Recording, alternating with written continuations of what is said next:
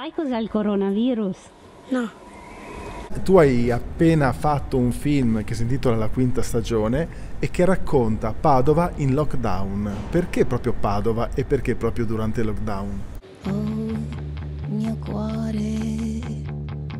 che ti sei svegliato male. In primis perché io sono di Padova e quindi mi trovavo a Padova e poi ero sì angosciata, ma anche un po' affascinata da questa situazione. Puoi fermare, cuore, cuore, cuore, cuore nero, cuore. Ed ero molto incuriosita da come poteva essere una Padova mh, nuda, cioè spogliata dalle persone. La quinta stagione è una stagione che non esiste. Nella tua mente che stagione è?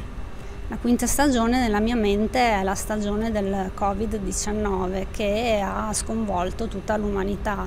La mia depressione sta aumentando, non posso andare a scuola, non posso vedere nessuno. Quanti giorni hai filmato Padova in silenzio? Beh, allora le riprese sono iniziate il 26 marzo 2020 e sono finite il 12 maggio 2021. Poi ho fatto più di 80 interviste. Stia, stia mezzo metro più indietro. Cuore, cuore. Soprattutto nel primo periodo eravamo così spaventati che ci volevamo tutti bene in qualche modo. E quindi questa cosa mi ha molto colpito, il fatto che la gente avesse voglia di raccontare e di raccontarsi e di dire in qualche modo la sua e, e anche diciamo, non so, passeggi sull'argine e vedi le paperelle che non sono mai entrate nella strada e che quindi, eh, come dire, la natura si era anche un po' rimpossessata degli spazi urbani.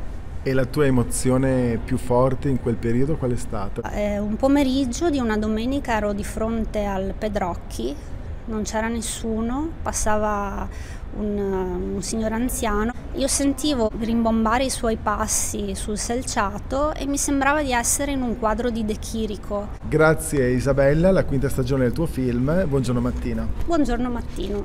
Nero cuore, cuore, cuore, cuore